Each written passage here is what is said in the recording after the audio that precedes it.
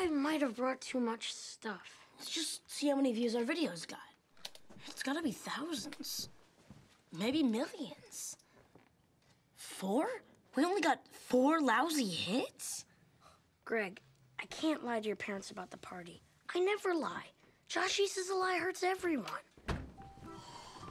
Guess who wanted to join the big boy sleepover? Baby Rowley. Mom, no, he'll ruin it. He just wanted to come in and say hi to Rowley.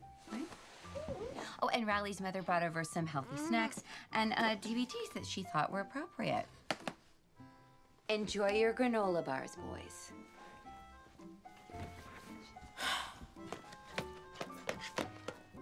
Andy's magic cushion. Let's start with that. Or should we watch The Foot? What if she comes back in and asks about the party? You need to relax. How about a healthy snack?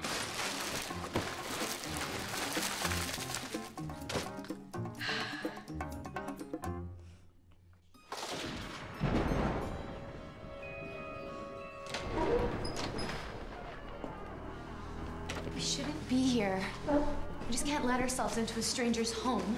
The place is empty. Nobody's gonna mind. Oh, look at his face. What happened to his foot?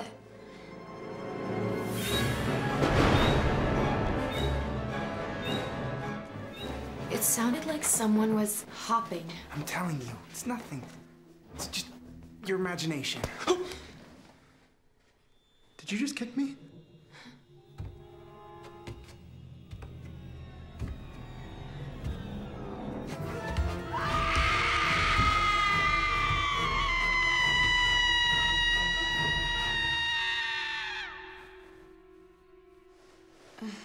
You know, you really need to cut your toenails. What was that? Hmm?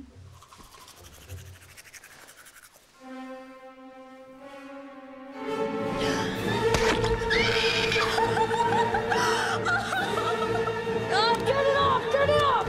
Okay, only because you're scared. Just go to sleep. I wish we watched Andy's magic cushion.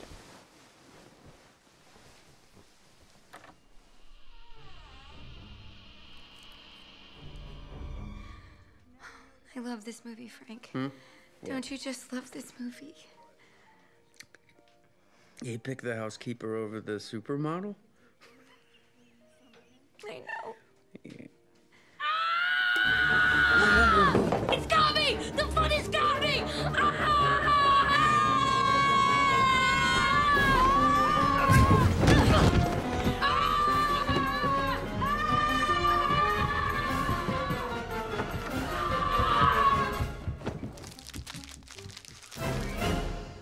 Greg, is there something you want to say to Rowley and his father? I'm sorry for choosing an inappropriate movie for the sleepover. At least nobody got hurt this time. I'm a little birdie.